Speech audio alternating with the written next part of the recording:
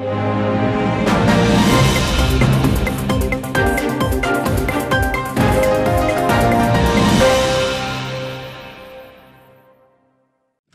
pe vârful Aconcagua, cel mai înalt vârf al Americii de Nord, al emisferiei sudice, al Argentinei și al doilea cel mai înalt vârf din cadrul proiectului nostru expediționar Seven Summits. A fost crunt, crunt. Gândiți-vă că suntem la 7000 de metri, În fără momentul, ăsta, oxigen.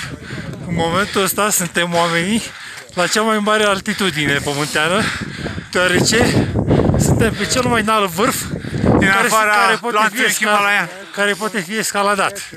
Avem 30 de secunde de când am Am apucat ajuns. să urcăm. Suntem atât de mândri pentru că a fost un Este- efort supraomenesc. Vă spun că este cea mai mare realizare personală făcută vreodată de, de noi. Nu știu, un lucru mai greu și mai dificil pe care să-l fi putut face vreodată. Scuzați-mi faptul că sunt incoerent. Suntem la 13 zile după ce am intrat în Parcul Național la Concagua. Uh, am încercat să dăm tot ceea ce avem mai bun, să dăm tot ceea ce avem noi mai, mai bun. Gândiți-vă că suntem Uitați, la- vedeți, vedeți măcar că asta seagă Suntem la România, 7000 de metri altitudine. care se simt 8000 din cauza poziționării geografice.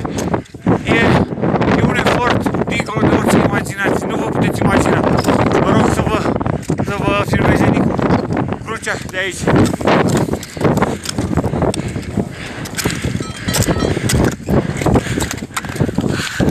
Asta este semnul că românii au ajuns pe vârful la Concagua la 7000 de metri. Într-un ritm alert, fără oxigen, ca niște campioni. Vă pupăm pe toți! Bună seara, sunt Cristian Hagi, bine v-am regăsit. Stăm la căldură, avem pornit aerul condiționat, cred că sunt 24 de grade, așa bănuiesc. Invitații mei uh, nu sunt foarte obișnuiți cu căldura, vin uh, de undeva, de unde a fost foarte, foarte frig, minus 30, cred că și ceva, dar a bătut și vântul foarte tare. Evident, nu din Constanța, ci tocmai din uh, America de Sud, din Argentina, de pe Aconcagua. Am făcut acum uh, câteva săptămâni o emisiune cu invitații mei de astăzi, în care povesteau că se vor duce pe Aconcagua, pe Aconcagua și vor cuceri acel uh, vârf. I-am invitat încă de pe atunci aici, după această experiență și iată-i vii și nevătămați, întregi, ba chiar și zâmbitori. Invitații mei de astăzi sunt uh, domnii uh, Nicu Rotaru și Mihai Nenciu, începând din dreapta mea. Bună seara, bine ați Bună venit. seara! Bună seara, bine v-am regăsit! Deci chiar zâmbitorii, nu, nu neapărat uh, uh, Într-o formă mai calmi. bună, cu moralul la cote înalte, bucuroși, fericiți pentru realizarea obținută și din nou întorși în studioul dumneavoastră. Mulțumesc. Câți metri au fost? 6000 cât? 962. 6962. Dar, există Dar? un dar. Din cauza poziționării geografice, um, vârful Aconcagua, cu cei 6962 de metri, se resimte ca un vârf de peste 8000 de metri, în jur de 8300 de metri. Am înțeles din explicațiile voastre că este cel mai îndepărtat uh, vârf înalt din cei șapte importanți de ecuator. De ecuator, Și da. asta îl face foarte... Îl face, în, uh, îl face um, un pic diferit față de restul vârfurilor de peste 7000 de, de metri. Este un vârf unde predomină foarte mult uh, vântul, temperaturile foarte scăzute și este extrem de imprevizibil. Ce Dacă înseamnă? în Himalaya fereastra de vârf este undeva m, probabil la o săptămână, aici în Aconcagua condițiile meteo se schimbă poate și de la oră la oră. Ce înseamnă foarte frig? Câte grade? Minus 35 de grade în ziua vârfului. Am înțeles. Bun, până să ajungem pe munte să vorbim puțin despre Argentina, cum a fost, uh, care a fost primul impact când uh, ați ajuns acolo? La, cum se cheamă orașul? Mendoza? Deci am aterizat în Buenos Aires și după trei zile am uh, călătorit cu autobuzul către orașul Mendoza, un leagăn al vinurilor internaționale, dacă îmi permis să Da, spun serios? așa. Da, din câte îmi dau seama, este orașul din țara cea mai renumită în uh, cultura viței de vie și în producerea vinului. Țara vinului și a tangoului. Da, da, da. Așa, da. iar Mendoza este uh, numărul 1, e, nu știu, aș putea să compar un murfatlar al, uh, al uh, Argentinei. Argentinei. Da, am vizitat câteva uh, locuri de degustat uh, vin. După ce N-am s-a putut terminat expediția Ah, noastră. da, însă. da. Înainte, da. Da, recunosc. După ce s-a terminat, Deci cum e vinul argentinian, e bun? este foarte bun. Da? Este extraordinar, mai ales că îl poți uh, servi cu acea friptură argentiniană de vită. De vită, care înțeleg că e incredibilă bună, Și da. din care n-am uh, uh, cugetat să prisosim nimic. Am înțeles cum se mănâncă friptura acolo. E în sânge sau nu friptura de vită? Se mănâncă cu poftă, se Da. mănâncă De foame. m, de foame Și că nu se mănâncă- foame, se- Da, Serios? se mănâncă tot timpul, este o friptură extrem de, de mare, uh, extrem de gustoasă, o carne extrem de fragedă, total diferită de ceea ce Da? știm uh, noi că înseamnă vita din România. Dar serios, în sânge sau nu? Sau mai bine făcută? Uh, undeva în Nu, medie. Mediu, Mediu, nu? mediu spre, spre sânge. Da. Am mediul cerut spre sânge, în da. Franța o friptură de vită mai bine făcută și bucătorul aproape că m-a certat și m-a dat Da. afară, a spus că se mănâncă în Da, da, sânge, da, da, așa exact. ar trebui să Da, o da, mănânc. da. Deci vinuri bune, friptură bună, tango pe stradă? Nu. Da, Tango da, pe stradă. Da, Nu, serios. Da, Da, serios, da, serios, da, da, da, da, da. da. Unde? Dar sa lumea așa de... Da, Da. pur și simplu, în fața localurilor, uh, bine, nu clienții, uh, erau doi, patru, deci o Da, pereche sau două de animatori Angajați de local. angajați de local, dar care pur și simplu dansau non-stop uh, spre deliciul uh, celor care erau la mese sau și de pe lângă mese. Turiști mulți în Argentina, în zonele acestea? Nu știu dacă e o perioadă turistică, dar Este, Nu, nu este este o vara, turistică, argentin, este vara este vara argentiniană și argentiniană, spun că- temperaturile sunt extrem de ridicate. În Buenos Aires am uh, prins chiar și aproape 50 de grade. Ce să faceți? Cum 50 de grade? 50 de grade, 48 de grade. 50 de grade. 40 de Incredibil. grade. Da. Mai poza? Era, chiar Uh, la un da, moment dat cred că am- fotografii, cred fotografiasem uh, televizorul în care arăta. Am înțeles. Temperatura. Deci că să o arătăm și noi pe ecran. Da, dacă era putem, ceva deci aproape de- 50 de grade. Deci, Da. cu toate aceste lucruri, uh, a fost o trecere extrem de bruscă de la temperaturile extrem de ridicate din, uh, din mediul citadin până la temperaturile de minus 35 de grade de pe vârf. Un șoc termic extrem de mare pentru organismele noastre. O, o, o, peste 80 de grade diferențe, mi se pare incredibil. Da. Deci, Buenos Aires, Mendoza, câteva zile acolo. Nu, Mendoza n-am stat o decât zi. o zi. A, decât o zi. O zi. Decât o După zi. care am pus rucsacul în spate. Ne-am am, strâns uh, tot, toate echipamentele pe care le aveam. Câte și am kilograme? Avea În jur rucsacul? de... Nu, rucsacul avea foarte multe kilograme. Am, echipamentele noastre au fost împărțite în mai multe, în mai multe părți. O parte care a plecat direct în tabăra de bază, uh, cu ajutorul măgarilor, pentru că toată logistica din, din zona uh, muntelui Aconcagua se face cu ajutorul măgarilor, iar uh, cea mai mare parte din echipament am uh, cărat-o, am cărat-o noi. Dar de câți măgari a fost nevoie? Aveți idee? Uh, Ei, se destul face de mulți. Tot transportul în, în acea zonă se, se face, tot, deci tot ce nu? înseamnă Îți fac măgari, provizii. catări Da. și uh, se pune accentul și pe provizii, în special uh, corturile se, se face așa o caravană și se transportă către tabăra de bază. Care este la câți metri? Tabăra de Așa, bază altitudine? este la 4300 de metri. Mm, E un drum lung, anevoios. Uh, Aconcagua are o particularitate. În timpul zilei poți să faci insolație, iar uh, noaptea hipotermie. Um, Este un munte vântos, unde bate vântul în permanență. Îi povesteam, uh, îi povesteam chiar acum ceva vreme lui Nicu și spuneam că am avut senzația în permanență că dorm cu urechea la motorul unui avion în turație maximă. Tot timpul era o senzație de o senzație fonică extrem de neplăcută pentru că vântul bătea cu foarte mare putere. Atât de mult zgomot de la vânt, da? Nu numai atât. Doar, nu doar zgomotul. În taberele superioare, Ai senzația că te ridică de la pământ. asta, exact, cum spune Pentru că Nicu, uh, cordul așezi în așa fel încât ușa să fie uh, împotriva, uh, uh, cu spatele la vânt, da?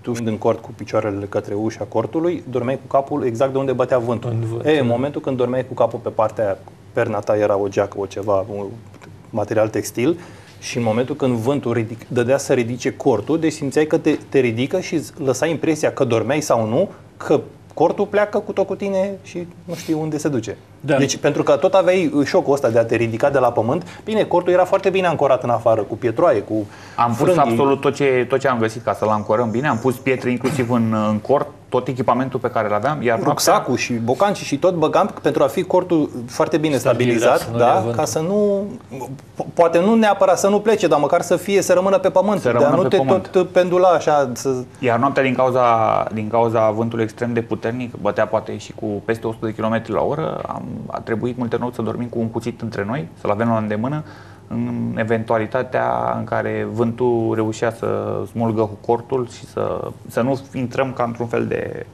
mașină de spălat și să mai putem să mai ieșim uh, de acolo. Trebuie să avem ceva cu care să tăiem Ca să cortul. tăiați da, cortul. ca este să o, tăiem o ce treabă și- simplă, adică pur și simplu Dar nu doar m-am să... gândit niciodată la asta, dacă e nevoie de un cuțit. Da, pentru că Am te aruncă. auzit și noi de la pentru că alții te și am- aruncă, pentru că te aruncă, poate să te, Da. să, să te arunce Pur de și pe, simplu, de pe munte luat, și... luat din somn, tu ești în sacul de dormit, deja că dacă te înfășoară de vreo două, trei ori și te duce la vale, nu e o Nu ai chestie puțin prea și- plăcută. Nu știi mai unde te poți să mai oprești, nu ieși. știi pe unde te, te, te duce. Te poate arunca, ești, în Că te primul rând că aruncă- ești în sacul de dormit, de unde nu ai posibilitatea să Deci ieși ești foarte repede. fășurat ca într-o batistă în odată. Și de acolo trebuie să ieși cumva. E o, e o treabă foarte simplă. Adică spui că am dormit cuțitul între noi. Pare așa un pic... uh, Știi, ca și cum vine ursul Nu, și... da, e- e foarte logic Treaba e ce foarte se- logică, e simplă. ce- ce Băi, am spuneți. tăiat și am ieșit pentru că uh, risc să mori, faci un atac de panică, faci orice. Sau, Doamne ferește, ai fracturi, ceva pe care nu le poți Sufocat, controla, uh, ori sunt atâtea sufocat. lucruri care se pot E o treabă întâmpla. foarte simplă. Ea pare, ți-am spus un pic fantasmagoric. Vai, cum au dormit ăia cu cuțitul lângă ei. Da, e o treabă simplă, pentru că e ca și cum mai spune, mănânc ciorba cu lingura, nu cu furculița. Da, da, da, da. dormi în cort și în momentul când simți că te suflă vântul cu 100 km la, La oră, oră ții niște măsuri de atunci precauție. țin- o măsură explicați simplă. este Evident Da. logică, da. da. E ceva- Numai că noi care stăm aici la nu, căldură nu-ți ne-am dai gândit niciodată seama, la asta. stând la televizor în zona de confort, la căldură, nu realizezi cam ce înseamnă un frig în care uh, cureți uh, gheața de pe cort, de pe interior. Dimineața, dimineața nu la e chiar așa primele de ore ale plăcut. dimineții trebuia să ne trezim foarte devreme înainte de a începe soarele să, să bată cu, cu putere pentru a putea să ieșim din cort, să ne scoatem toate, toate lucrurile, sacii de dormit și tot echipamentul, pentru că pe interior se forma în timpul nopții un strat de câțiva centimetri de gheață, Gros? exact, Da, care, era termi- cât de care, cât îl, îl scoteai cu unghiile de pe... Da, care se uh, uh, începea a se topi după nu știai, apariția de soarelui. obicei se întâmpla treaba asta că se întâmpla că nu bătea vântul foarte tare și din cauza condensului nostru și a temperaturii din cort se întâmpla treaba Temperatura asta. din cort era un nu pic mai știa. ridicată, iar cea din Nici nu exterior, știai ce îți foarte doreai. scăzută. Dacă îți doreai să f- nu bată vântul și să te trezești cu chiciura la nas sau îți doreai să bată vântul toată noaptea și să fie uscat uh, în interior. Dar cât dormeați în condițiile astea? Cât apucați să Somnul dormiți? este, este o chestie sinusoidală. Ceva de genul dormi uh, 20 de minute, te trezești 40 de minute, iar mai adormi 10 minute, iar, uh, iar Uh, a doua zi trebuie să faci un efort foarte Cristian, mare. În momentul când bei 6-8 litri de lichid pe zi, trebuie să ieși de 20 de ori la toaletă. Această cantitate de lichid trebuie, Trebuie, eliminată. eliminată. Mai ales că zăpada nu are nutrienții apei uh, îmbuteliate ca să fie procesată, să rămână în corp, să mai se gândească, să, să folosească Este la un fel de ceva. apă distilată. Cum Este un adică fel de zăpadă? apă. Stai, Păi stai, beam stai puțin. apă ză... Vezi din zăpadă topită? topită. Da, da, Cantitatea era de lichide singura. se obține dintr-o zăpadă topită. Ei, ea, fiind ca o apă distilată, pur și simplu trecea prin corp și se elimina foarte repede din tine. Deci la un moment dat simțeam, ne- uh, aveam senzația că doar ce mă întorceam de la toaletă și îmi venea să merg din nou. Este, este un disconfort total, pentru că afară câteodată ziua e plăcută, e cât de cât se, era omenește, dar noaptea însemna să stai în sacul de dormit, să ieși din sacul de dormit. Să te echipezi, pentru că Să nu te poți să ieși echipezi, afară să dezechipat, ieși este afară. extrem de, de Cum, nici frig. măcar așa, un minut, două minute să... Nu, Nu, nu poți. Nu, ca să ieși din sacul de dormit, îți dai seama, tu acolo ai stat și ți-a trebuit un sfert de oră să-ți revii, uh, să-ți aduci temperatura corpului la confort, ca să nu mai tremuri în sacul de dormit. Ok. Și tocmai cât după o oră, când ți era mai bine, îți dai seama că trebuie să ieși, să pui hainele pe tine, să dârdă iar până la toaletă sau uh, unde se rezolvă problema, pentru că în parcul Aconcagua avea o particularitate. În momentul când ai intrat în parcul lor, Trebuie să uh, păstrezi niște toate- condiții trebuie- ecologice extrem de stricte. Adică? Și tot ceea ce Tot lași ceea în ce urma lași în ta urma ta trebuie să trebuie cari să după cari. tine. Inclusiv uh, produse reziduale fiziologice. Inclusiv urina, nu? uh, nu. Nu. Nu. Am înțeles. Număr- Celelalte număr- produse număr- reziduale fiziologice. numărul doi, da, numărul da? doi. Da. Serios? Da. Trebuie să car cu tine. Da. Și îl predai, se împachetează absolut totul, îl predai la, la, în momentul în care ieși din Parcul Național la Concagua. E, gândește că ești Gândești că noaptea trebuie să faci lucrurile acestea la 5600, la 5900, la 6000 de metri. și te duci cu punga, da? Și o rulezi și rezolvi acolo noaptea. Pe care trebuie să Vânt, o cari. frig. Ce car după Este tine. și azi, și azi și mâine și așa mai departe. Uh, Știam treaba asta. Una e să știi te pregătești, dar când ajungi acolo, după două săptămâni de stres, totul uh, se schimbă. Nu mai este chiar așa cum uh, prevedeai Așa de, de- acasă, așa de așa de calculat. roz Așa și de e, bine. e frumos când vorbim de aici, da, Când și vorbim când de vedem aici, da. imagini, când e, Când vorbim absolut de aici, da, spectaculos. și acum, dar sunt foarte multe, foarte multe privațiuni. Expediția de pe Aconcagua a însemnat uh, foarte, mulți, foarte multe nopți dormite la o altitudine, altitudine care nu îți permite un somn extrem de confortabil, în condiții de salubritate destul de Unde vă spălați precare. pe dinți? În Vă afara spălați cortului, acolo, da? în afara cortului, da, în afara cortului, Deci m-am din apă, spălat de atâtea ori cu ceai. din Pe dinți apă, cu din ceai, apă da? topită, pentru din că- ceai. Da, din ceai. Mă spălam cu ceai și îmi clăteam periuța cu ceai. Nu, nu se mai pune problema de a ne de vrânduși sau ceva, pentru că aveam impresia că hainele alea de care le, nu m-am despărțit atâtea zile de ele s-au lipit de mine. Aveam impresia că la un moment dat că era una cu pielea, că, că, că 16 mi-eșa, zile, că mi-eșa 16 pielea, zile. prin, uh, mi-eșa pielea prin ele. Deci da, era, nu doar că n-am scos hainele de pe noi, ci doar uh, am mai adăugat câteva straturi în, Da. da. în ziua vârfului. E o discuție interesantă asta E pe care am extrem. avut-o înainte de, de emisiune Da. cu, cu îmbrăcatul, cu colegul nostru da, Alin. la- da. Uh, Când te duci să pe un munte la 7000 de metri, te duci la un magazin din Constanța și îți cumperi haine, dați-mi și mie o pereche de mănuși Nu, și o nu e geacă păcate, groasă. Din păcate, din păcate, nu. Deși ne-am dorit acest lucru, din păcate nu. Sunt produse extrem de mă, specifice pentru acest gen de activitate, care, din păcate, nu prea le găsim în comerțul local. De unde se găsesc? De unde se cumpără? Online? Uh, sau... Cele mai multe sunt online, Cele sunt mai- magazine în uh, orașele cu specific montan din România. Nici ele poate nu se ridică la nivelul uh, condițiilor meteo la care trebuie să fie pregătit inclusiv colegul vostru. Uh, Sunt produsele din Goretex, care protejează foarte bine la apă și la vânt. Sunt produsele din uh, PUF, uh, de gâscă, care sunt foarte bine uh, realizate pentru temperatură foarte Extrem de scăzute. Co- Aș completa uh, ce șosete și bocanci plus mănuși și supramănuși care nu se compară cu nimic din ceea ce folosim noi la schi sau când mergem, când, oricât de frig ar fi aici în Constanța, mulțești cu câteva cifre și E vorba de realizezi cam ce este sănătatea acolo. noastră, e vorba de integritatea noastră și Nu, exact cred că cum îți- niciun, niciun uh, aspect financiar nu trebuie precupețit. Așa Adică- cum îți spuneam la începutul emisiunii, uh, avem echipament uh, cu care aș putea să urc pe Everest. Deci este maxim ce puteam să cumpăr de pe piață. Iar în noaptea vârfului, când am ieșit din cort să plecăm, uh, cel puțin două ore am avut degetele amorțite la picioare pentru că era foarte frig și simțeam că că Nici pișcă, măcar pișcă echipamentul pe ușor, care îl așa. aveam și care este echipament de altitudine extremă nu a făcut față. Într-un final, uh, împreună cu efortul nostru de a ne mișca în permanență mâinile, degetele de la mâini și de la picioare, uh, a fost uh, ok. Dar gândiți-vă că 12 ore cât a fost ascensiunea în ziua vârfului, a trebuit să ne mișcăm în permanență degetele de la mâini și de la picioare ca să nu ne ca să nu A ne vrei să degete. spun un secret acum în direct pentru spectatori, telespectatori și pentru tine și pe Mihai o să surprindă. De fapt nu o să surprindă, că el știe foarte bine treaba asta. Pe traseu, cam pe la jumătatea traseului, a sărit colțarul. Știi ce a însemnat treaba asta? El, el mi-a spus că era la limita puterii de a mă ajunge în vârf, numai că a trebuit să adauge acel colțar pe bocanc. Pentru că este un efort atât de mare Bine, un, lu- pentru un lucru atât de simplu, e un efort atât de mare, asta încercam să spun. Deci pentru a-ți lega colțarul a consumat atâta energie încât uh, i-a fost uh, la limită de a Eram, eram Deci orice uh, lucru în plus extrem față de, de- ce trebuie să extrem faceți, e de un consum de energie deslăbit. Foarte Da. mare, nu? Da. E un a cons- consum da. da. și, și fizic și psihic foarte, foarte, foarte, foarte mare. Psihic de ce? Te, te Psihic pentru demoralizează că, cumva faptul pentru că, că, te, în permanență ai senzația unei golgote, unui urcuș care nu se mai termină, căruia nu-i vezi capătul sau dacă îl vezi este undeva într-un, uh, într-un plan foarte, foarte îndepărtat. Iar uh, dacă tot uh, am ajuns la momentul uh, dezvăluirilor, vreau să vă spun și eu despre Nicu, un lucru pe care l-am, la, pe mine personal m-a marcat și i-am înțeles uh, valoarea într-un alt uh, mod uh, față de cei care poate acum ne privesc. Uh, din cauza răului de altitudine pe- treci prin o, o mulțime de stări neplăcute în timpul, în timpul ascensiunii. Se manifestă dureri de cap, stări de greață, lipsa apetitului, uh, care în, într-un final pot să dea într-un edem cerebral sau pulmonar. Doamne ferește, dar uh, aceasta ar fi putut să fie finalitatea.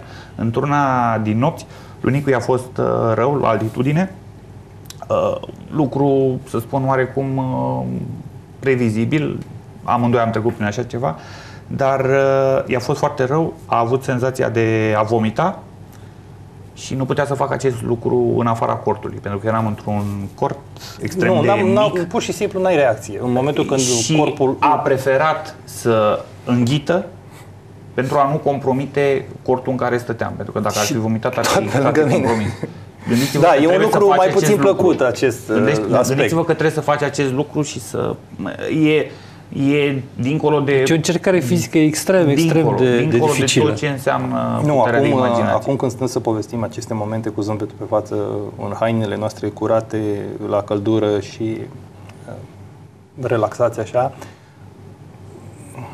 e un pic rușinos așa de ce s-a întâmplat. Dar uh, acolo, în momentul când e vorba de integritate corporală, de igienă, de condiții umane, de faptul că nimeni nu poate să vină să te ajute, ci ești doar tu cu tine. Nu a venit nimeni, nu e farmacia pe col să te duci să-ți iei șervețele umede, să te speli, să te ștergi pe față. Nu există telecabina care să te ducă în vârf, nu nu există- spălătoria la colțul blocului ca să vină să-ți spele sacul de dormit pentru că tu ai transpirat sau poate ai avut temperatură sau ai vomitat în cazul Nu meu. există Da, restaurantul preferat care să-ți aducă mîncarea pe care o dorești. Gândiți-vă că Poți să am, comanzi o pizza, nu? Și, nu, Gândiți-vă că în ultimile zile am trăit doar cu niște pezmeți, câțiva biscuiți Dar, și uh, ceai și zăpadă topită. Ajunsesem să, să, Nu. să povestim și să, um, cum, cum să vă spun, singura um, bucurie în acel moment era faptul că povesteam despre mâncare. Da, da, era- Mâncarea era- pe care nu aveam fizic să o mâncăm. Era, era ca un vis care, dacă mă întreb pe mine acum, cred că nu mi-a trecut acea senzație. Cred că și dacă aveam mâncare, nu puteam mânca.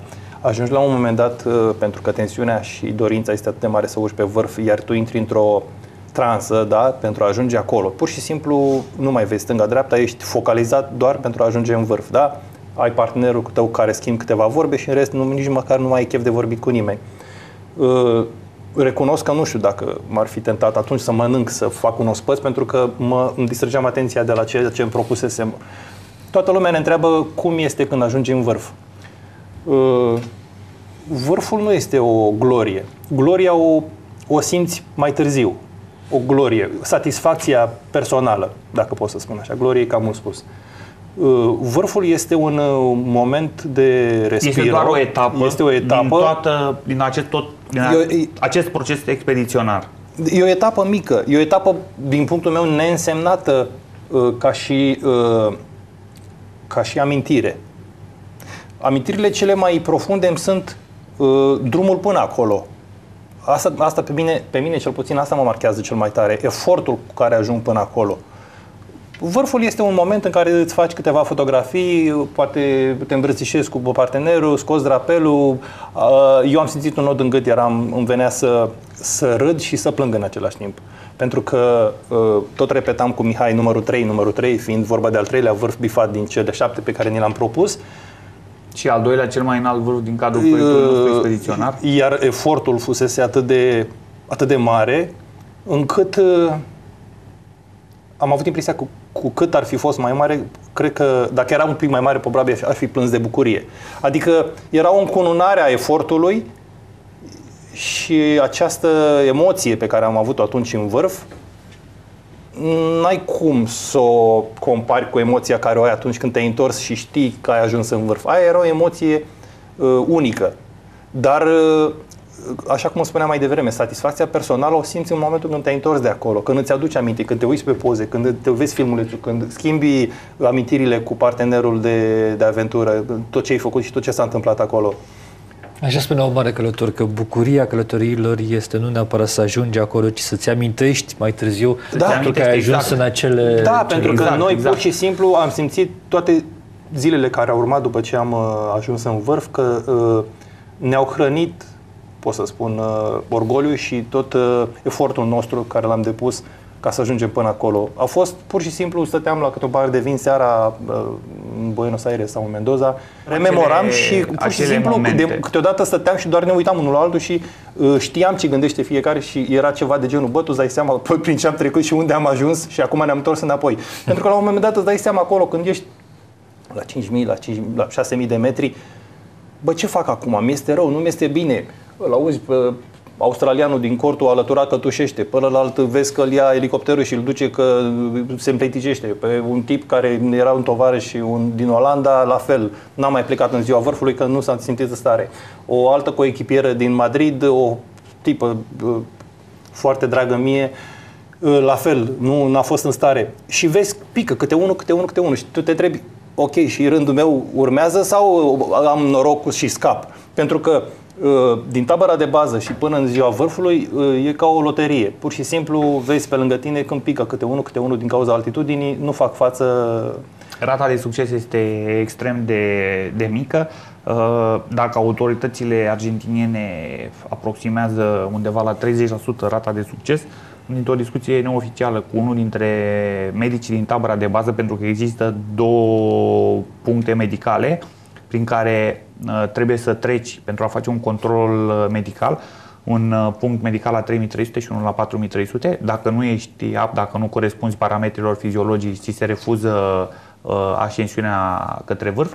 Iar în aceste puncte medicale, dintr-o discuție neoficială, unul dintre medici mi-a spus că rata de succes e undeva la 8%. Deci, 8 Ca să- alpiniști dintr-o 100. Ca să-ți creionezi un tablou, uh, am plecat printre primele grupuri când am plecat în față, deci în urma noastră erau alte grupuri. Gândește că în ziua vârfului se, uh, cum să spun, uh, sunt mai multe grupuri. Din toată lumea asta, îți dai seama, sunt o grămadă, sute, mii de oameni care își doresc să facă treaba asta. Mii Ce- nu sunt. uh, Care își acolo. doresc. A, care își Care doresc. își doresc, uh, am spus, care care își își doresc, doresc. da. Nu, am Dar spus acolo, care da. își doresc. Cam câți erau în, în ultima zi când ați plecat pe vârf? 100, să zicem. Da? E, gândește că din 100, 50 au plecat în ziua aia. Că din 100 sunt mulți care fac parte din uh, uh, Diferite expediții. diferite expediții, alții și-au propus pentru ziua următoare, alții au rămas din ziua precedentă din tabără. Ok, au plecat 50 sau a plecat un număr de câteva zeci. Îi vezi în spatele tău, îi vezi înseamnă, le vezi luminile frontale, da, grupuri, de câte 5, de câte 7, de câte Ce 3. înseamnă, scuze, lu- lumini frontale? Lampa Lămpile frontale, pentru că da, Se pleacă le- foarte devreme, de Fiind dimineață. noapte, Așa ca la miner, nu? Și Exact, trebuie să da, da, aveți... la miner, da. Fiind în față, îi vezi. 3 lumini, 5 lumini, 10 lumini. După o oră nu mai sunt 3, sunt 2, nu mai sunt 5, sunt 3. Ai înțeles? Deci uh, Dumnezeu îi triază și îi spune, tu ai voie, tu nu ai voie.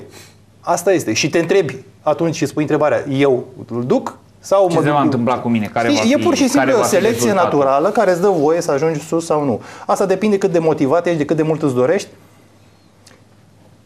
Care este Și de, înzestrarea cred că genetică? și de, de bine, exact, asta Cât de vreau să mult, spun. uh, Sunt ești convins că înzestrat, foarte uh, puțin lume genetic? poate să facă acest Înțelegi? lucru. Nu este un vârf tehnic, nu suntem niște supraoameni, nu am stat ca niște Spider-Man acolo agățați de stânci. Nu, pur suntem și niște simplu- alpiniști pur sânge, bă, pur ce- sânge sau, cum să vă spun, extrem de talentați. Suntem niște căznitori, îmi place mie să zic. Căznitori. Da, Da, da. ne, ne, ne căznim să ajungem acolo, dar cu atât mai mare este recompensa Satisfacția. și satisfacția sufletească, pentru că este singura recompensă. Pentru- Să practicăm un sport în care nu există niciun fel de miză, diplomă, cupă, uh, Campionate mondiale, cea europene mai și așa mare, departe, da. cea mai mare, nu, singurii, sau ca- singurul mm, lucru care ne, ne motivează este acela că facem un lucru bun, pozitiv, uh, ne depășim condiția și încercăm să, să,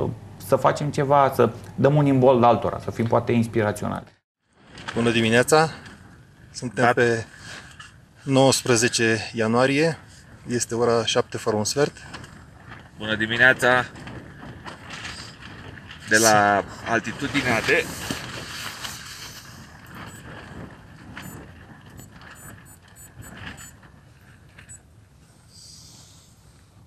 altitudinea de 5540 de metri. Suntem la Nido de Condores, cuibul vulturilor, adică. tabăra a doua avansată pentru vârful Aconcagua. Aseară a bătut vântul groaznic. Încă mai bate și acum, cred că se aude. Am zis că am dormit la lângă un motor de avion, așa se, se, se auzea. Asta era senzația. Stai cu urechea lângă un motor de avion în turație maximă. Este foarte, foarte frig afară, iar vântul accentuează senzația asta. Suntem în a 12-a zi de când am plecat. Nu, Mihai? Da, 12 zi. Da, este a 12-a zi de când am plecat. Aș vrea să vă întreb așa, nu cum e în vârf, că asta am înțeles, cum e drumul de întoarcere? Drumul de întoarcere este un drum la fel de greu, pentru că vârful reprezintă doar 50% din, uh, din expediție. Uh, Statistic, cele mai multe accidente se întâmplă la, la întoarcere, trebuie să fii foarte atent, foarte concentrat, să-ți dozezi energia în așa fel încât să-ți rămână și pentru, pentru întoarcere. Uh, Pe drumul de întoarcere am avut uh, neșansa să vedem un lucru mai puțin plăcut, un alpinist care era într-o situație extrem de, de delicată. Urca Până sau la- cobora? A încercat a să încercat urce. să urce, n-a putut să urce și a terminat rezerva de energie pe la 6500 de metri. Uh, Era într-o situație delicată, până la urmă a fost ajutat de, de salvamontiști și de ghiși să, să coboare, sper că este bine. E mai puțin plăcut să vezi lucruri de genul acesta. Dar, nu, Mai- dar, mai dar trebuie să spun că precis. nu-i de joacă pe munte se moare dacă, Nu știu dacă dacă nu a știu. conștientizez, apucat da. să se facă dexametazonă? Nu, nu a apucat să Da, am să-i impresia facă. că a refuzat să îi se facă tratamentul cu dexametazonă, în schimb a fost adus cam 500 de metri uh, altitudine mai jos uh, cu un ham. Pur și simplu știi cum sunt copiii ăia ținuți când învață să meargă, Da. să nu cadă și sunt ținuți cu un ham. E, așa l-a ținut Vorbim cineva. de bărbați care sunt în puterea în, în putere maximă, și a pregătiți fost pentru așa ceva susținut și așa care cu un, clachează. cu un ham din spate, da? Îl ținea din spate pentru a nu cade din picioare. Contează 500 de metri, nu? Dacă 500 de metri de mult, altitudine. extrem de mult. Da, Extrem de asta mult. poate să însemne 3 ore de mers, 4 ore de mers la coborâre. Nu, dar contează și pentru el, și Cantitatea de, pentru el oxigen, fizic. cantitatea de oxigen, e- bineînțeles, cu fiecare 100 de metri crește cantitatea Bine, de el, oxigen el pe care s-a, o nu, primește el nu, organismul. și tot nu, nu s-a oprit într-o zonă de foarte safe, așa, foarte sigură. Pur și simplu n-am putut să mai continue și uh, uh, ghidul nostru a preferat să ia legătura cu rangerii din zonă să vină să-l ridice, că nu mai putea fi transportat. Da, nu v-am întrebat câteva chestiuni tehnice. Câte mănuși ați avut? Câte perechi de mănuși? Trei perechi de mănuși Trei în perechi. ziua vârfului, în da. ziua vârfului. Trei perechi de mănuși, trei perechi Am de șosete. înțeles. Trei perechi de bocancii șosete, sunt- da? bocancii Șosete sunt- speciale, nu cumpărate din Da, uh, da, nu, nu da. vorbim de supermarket, Bocancii da? sunt cu trei straturi de Bocanci protecție. tripli, Da? Pantaloni, eu recunosc, am avut trei perechi. Trei perechi de pantaloni? Da. Câte haine pe?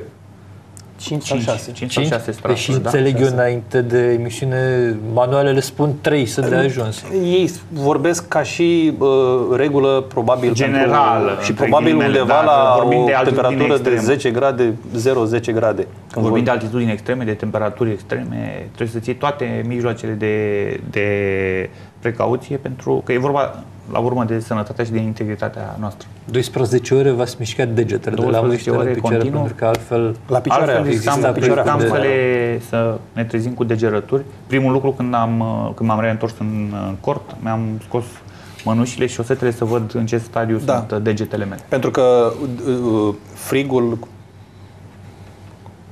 respectiv degeratul uh, extremităților, este așa un pic pervers și nu prea îți dă semne. Adică ai Adică? simți niște furnicături, o mi- mică amorțeală, nu... O senzație neplăcută. E o senzație neplăcută, dar nu e atât de, cum să spun, nu, Nu e- doare nu foarte doare tare, așa este de tare dureroasă. încât A, să... și când te- scoți mănușa, știi, și la un te moment trezești dat, cu da, la un moment dat mâinile intri într-o stare amorțită, da, la, albastre. la mâini, se umflă degetele un pic și când îți vezi deja că sunt degetele albastre, atunci uh, e nasol. Deci nu există haine pe lumea asta făcute de om care să te țină în siguranță la 7000 de metri. Asta înțeleg. Siguranța nu? este un concept uh, Nu e un cuvânt relativ. prea bun, nu? Nu este Nu. un cuvânt bun când vorbim de altitudini uh, mari. Dar uh, acum că suntem pe finalul emisiunii, să ne bucurăm să, că, am, că am realizat acest uh, lucru. E o, e o realizare personală. Da, și dacă Eu cred că revenind, este mai mult decât atât, revenind dacă la întrebarea destul de ta, mare. revenind la întrebarea ta, cea de cum v-ați simțit la- pe drumul de întoarcere, eu aș completa uh, Mihai poate a vorbit de, de întoarcerea până în tabăra de bază. Eu aș vrea să mă refer la drumul din uh, când- de când am pus rucsacul în microbus și ne-am întors până la prima locație unde am putut să bem o apă îmbuteliată și să stăm uh, după, la o bere sau la o alune sau să ne revenim pur și simplu să, să ne scoatem bocancii din picioare. E, acest drum de câteva ore cu microbuzul pentru mine a fost ca o ca o, un reload, așa ceva, în care uh, într-un microbuz cald uh, deja uh, se Ascultam instalase muzică. ta- starea de confort, da? și aveam pe partea dreaptă Anzi Cordilieri, da, de un peisaj nemaipomenit, pentru că Argentina e o țară superbă și nu știam dacă mă, nu știu dacă mă voi întoarce încă o dată să, să revăd uh, acele locuri în acele momente. M-am simțit, uh, m-am simțit extraordinar. Deci pur și simplu îmi trăiam visul, cel pe care ne- ne-am pregătit un an de zile și la care am visat și la care ne-am dorit și până la urmă uh, pentru asta ne-am dus acolo, a fost ceva extraordinar și am avut momentul meu de beatitudine, ca să-i spun așa, în care m-am bucurat că am realizat ceea ce ne-am propus împreună, că ne-am întors sănătoși acasă, că era cald, că aveam toate degetele la mâini și la picioare, că, Urma să facem duș din nou. că urma să, da.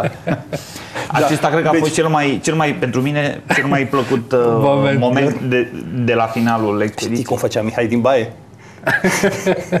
și când am intrat în hotel și l-auzeam zicând, știi cum e apa în cadă? Apa pur și caldă, nu? Ai descoperit apa el, caldă. el, el era cu dușul în cap și probabil urmărea ce se ducea pe, Ah, pe scurgere. am înțeles, după și, atâtea zile, Și da. țipa din baie, știi cum curge apa de pe mine? Zice, lasă că o să vezi și tu. Da. Ce au spus cei, cei dragi, familia, când v-ați întors acasă? Uh, V- V-au certat sau S-au nu? bucurat, nu. Nu, întotdeauna- Familia, întotdeauna cei se dragi bucură. sunt cei mai mari susținători ai noștri, cei mai mari uh, și cei mai înfocați fani. Dar cred că Ne stau și cu susțin. inima cea mai strânsă așa. La... Probabil că da, probabil Da. Că, că da, cred că da. Atâta vreme cât uh, țin la noi, cât ne iubesc, uh, cred că sunt, Sunt uh, convins, și da. direct implicați. Da. Da. Am înțeles ce urmează? Urmează Punca Agjaia, cel mai înalt uh, vârf al uh, Oceaniei și totodată cel mai înalt vârf din uh, Indonezia, situat în insula Papua Noua Guinee, unde vom uh, pleca la jumătatea acestei toamne. Un vârf extrem de tehnic, cel mai tehnic vârf dintre aceste șapte pe care încercăm să le, să le facem. Ce înălțime? 4832 de metri, uh, dar altitu- altitudinea mm, lui este cel mai mic dintre vârfurile pe care Cele șapte, le da. vom uh, urca, dar este cel mai dificil, cel mai tehnic din punct de vedere tehnic. Am înțeles. Însă sperăm să ne reîntoarcem uh, la dumneavoastră în studio cu Sunt aceleași uh, povești frumoase și, cu cu, imagini, da, aceleași exact. imagini uh, inedite de pe uh, un nou vârf. O să vorbim și înainte și după, probabil așa sper. Până atunci o să intru pe Google să caut mai multe informații. Mulțumesc mult pentru prezența. Mulțumim și noi în pentru emisiune Noi vă și mulțumim succes încă o dată. pentru tot ce ați uh, făcut. Vă mulțumim și să ne revedem cu bine. Așa să fie. Mulțumesc și dumneavoastră că v-ați uitat. O seară bună în continuare.